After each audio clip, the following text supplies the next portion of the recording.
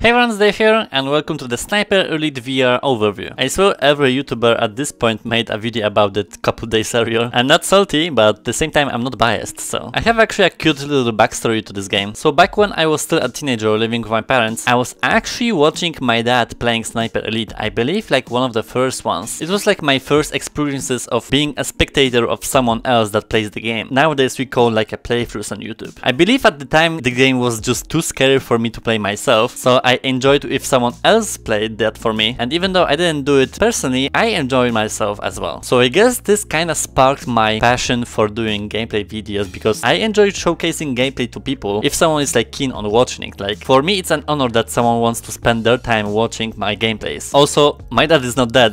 the story kinda comes across like that, but it was just like a cute fun little memory that I have. So Sniper Elite VR is an action shooter game, I believe put in a Second World War II scenarios in the midst of Italian forces forces fighting with fascists. Now let's get it out of the way. Sniper rifles are not my favorite weapon to play with and that's gonna be interesting in this game because it should revolve all around that. I do think that I'm gonna be treating this game as a second Medal of Honor since the gameplay seems relatively the same, so it's gonna essentially come down to the mechanics and how well the gameplay is resolved. Unpopular opinion, Medal of Honor VR to me was one of the best shooters I've ever experienced in this technology, so I'm gonna be basically judging Sniper Elite on that level. Now, there's no point in judging graphics for now because the trailers always skew the footage and Quest 1 will always be like very heavily downgraded, especially where you're capturing realistic scenarios. But just looking at the gameplay itself, I immediately noticed that you have some kind of floating numbers after shooting someone, which I don't find very fun if we're talking about immersion. I hope there's an option to turn off because who cares how much damage someone takes when you do a headshot, like what? Second of all, when I see kinda close combat shooting, the enemy's characters models look a little bit plastic, meaning they kinda lose their weight and posture when they are dying. Doesn't really seem realistic in terms of physics, but we'll see in the actual footage. I do really like that it seems like it carries some kind of campaign or storyline, because essentially that's what we're missing most of the time on Quest. A solid story aside from the gameplay to enjoy. I can already tell, no matter the quality what we're gonna get, I'm gonna do a playthrough simply because there's like a reason or a point to play, no matter the quality of the content, if you know what I mean. Essentially the first overview episode of this game will be captured on Quest, but the whole playthrough will be through virtual desktop because at the end of the day I'm pretty sure the gameplay is the same, so for the sake of visuals in the footage, we're gonna do the PC VR playlist. Let's get on with it. Oh, that's the start menu? Okay, options then. HUD prevalence. Does that mean damage numbers? I would like to have it low or just none. Yeah. I'm gonna see what's uh, about on the full, but then I'm gonna turn off kill cam, increase number reduce. This is this iconic scope when we shoot someone from sniper rifle, it kind of like zooms in and just travels. I wanna see actually if I'm gonna get sick or not. If not, then I'll just turn it off. It's good to have this option. Subtitles, comfort, no vignette, smooth turn, yes. Manual reload, nice. Offsets, ammo pouch, rotation speed. Seems like everything is in place, which I'm amazed that at least this game has everything like ready on launch. That's new. Even colorblind mode. I'm impressed in the options already, so let's go. so difficulty setting, maximum threat, full ballistic model, bullet drop indicator. Ah, there's even bullet drop. What? Let's do this. And maybe if I will see in the playthrough it's gonna be too easy, I'll switch. In this age, it is easy to lose sight of what we have family, freedom, peace. Forty years ago, the world, this place, were very different. Not a day passes when I do not think of that time, when I'm not thankful that I am still here thankful for them. Can I wonder about this sound fade when subtitles Why go? did we fight? We fought so they would not have to. So they would never have to live through the horrors we faced. After capturing Sicily, the Allies prepared to assault mainland Italy. While the Nazis strengthened their defenses in the south, we partisans fought to weaken them and hasten the end of fascist control of our homeland. Interesting. The town of Pazzano was under attack. We fought to hold the Nazis back and to buy time for my partisan comrades to capture one of their artillery pieces. Okay. I needed a rifle. Stole the rifle by putting it over your shoulder.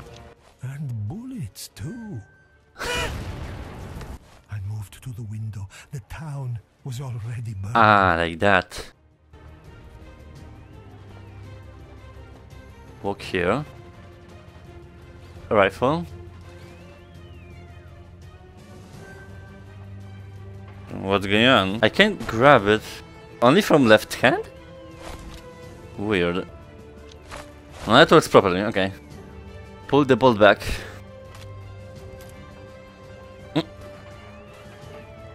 Retrieve ammo from your belt. Why my belt is like curved?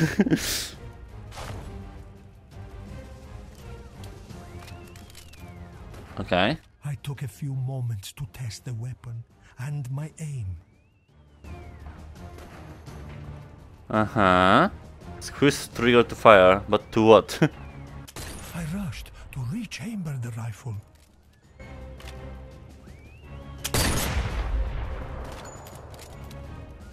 Oh, here. oh, what's happening like that? If you bring scope too close, it disappears.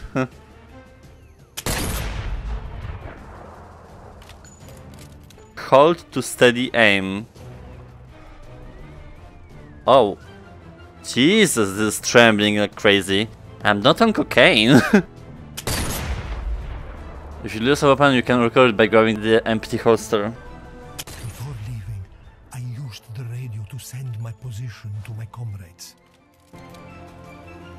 I like that it's narrating like that.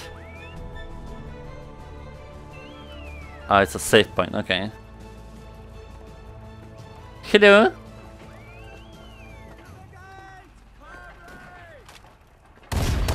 Whoa! Although it seemed hopeless, Dante led from the front, rallying us to hold the walls. I had to get to Dante and help him.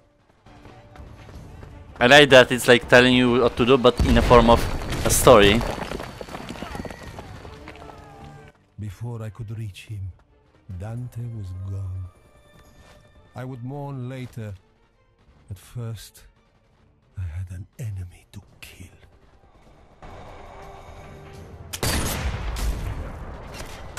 Here's the HUD, and let's see how that works now.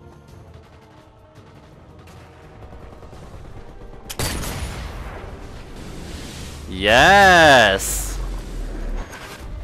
I'm gonna keep the flying bullet thing because it's too iconic to not have and I'm pretty sure I won't get Locomotor sick. It's good to watch because I remember when I was watching my father it looks great on the screen. Maybe not necessarily in VR, but we'll see.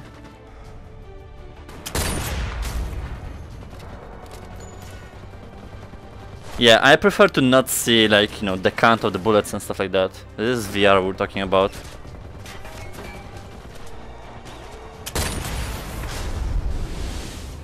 Nice! I have to say the graphics are not bad. I expected worse for Quest. The environments in the distance look kinda questionable, but it's not the worst. Yeah, I won't get sick, that's fine. It flies too fast for my eyes to kinda notice. Let me shoot without this focus. Yeah, maybe that's gonna be better. Sometimes, I guess.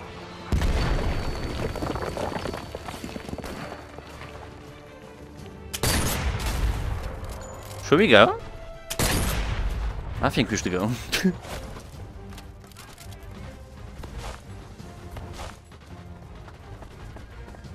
Our leader, my friend, had given his life begging the Allies to send help. We didn't know if it was coming, but for his sake, we hoped and we fought on. oh damn.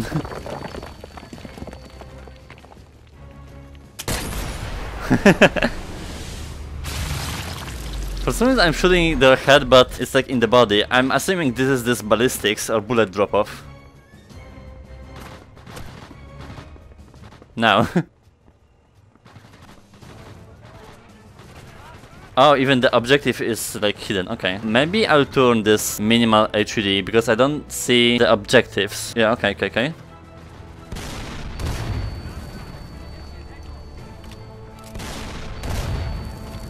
Stop it. The tanks had arrived and we had nothing that could stop them. Our comrades had to capture that artillery gun. Artillery gun? Oh. I held my breath and prayed.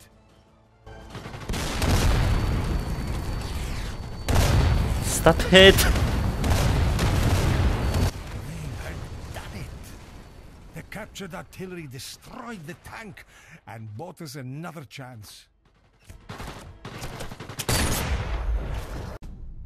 Not bad, I'm pretty impressed so far. The Nazi attack had been a reprisal for the death of a senior German officer. The kill ordered by Dante, the fatal bullet fired by me. The Germans knew we were responsible, and they struck back without mercy, killing partisans and villagers alike. It was a slaughter. With Dante's death, we'd lost our leader. It would have been easy for us to give up, to lose hope. Instead, we strengthened our resolve. We would need it for what was still to come.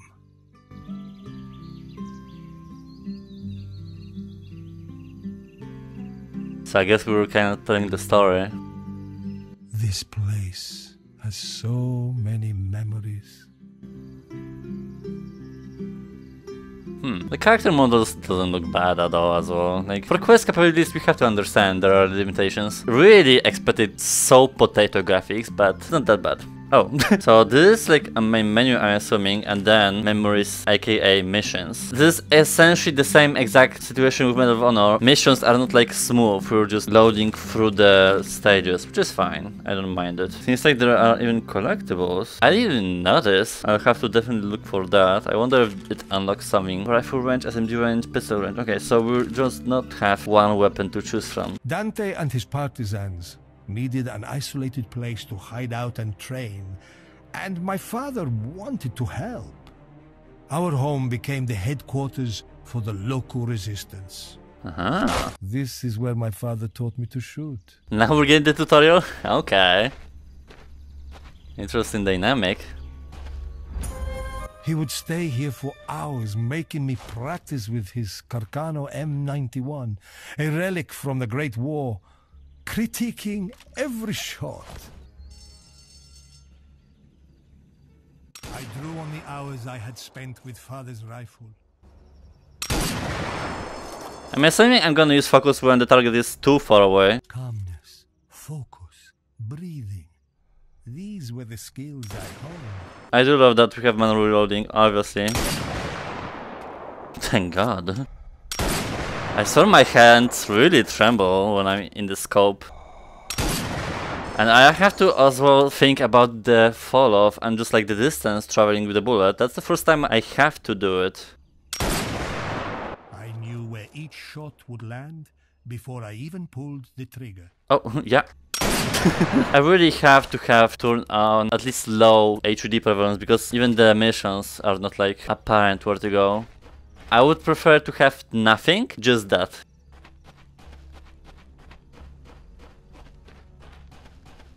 Hopefully it won't like be too invasive. An ugly weapon, but effective. Why it's blue though? Real test, can I unlock it with my teeth? really? Ah, come on. Speed of thought and action. The shot became natural, like throwing a stone. Worst game, 0 out of 10. I tell you, this is so satisfying to just pick up the pin with your mouth and then just throw a grenade, but oh well. Reload, I mean, yeah, obviously, the hell? it's not the first time I use a pistol. Oh, it's like in my armpit? That's kinda weird. I trained at every opportunity, pushing myself to perfect my skills. Is there like a scope? Yeah, it's very little though. I had to improve with the pistol. It had advantages over the rifle in close quarters. Oh, okay, that's crouching.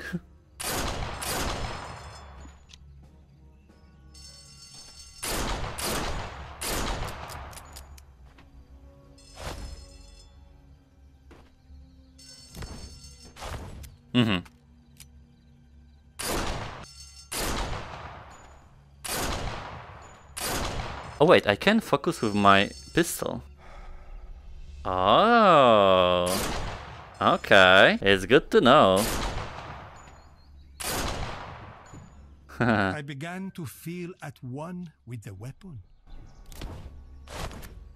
good for you.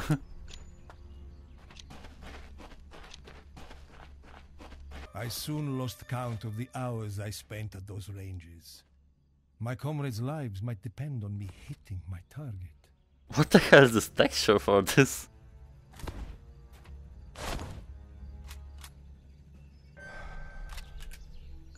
Okay, this one has as well. Nice. What's the follow-up with one hand? Could be devastating if controlled Huge. Nice.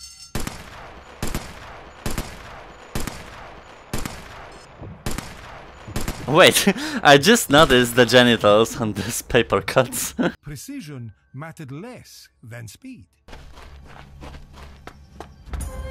In the early days, we had to make do with what we had, doing our best to pick the right tool for the job. oh my god, this is hard. We often had to gather what weapons and supplies we could from the battlefield, slowly improving our arsenal. I don't know which one is good. Like, I'm gonna look through the scopes, I guess, right? Then I'll judge. Okay, we played with this. Okay, this is better a little bit. Does that make a difference for me? Mishi Mashi. I'll take this one. I like this one better. Oh, place in the box. Okay.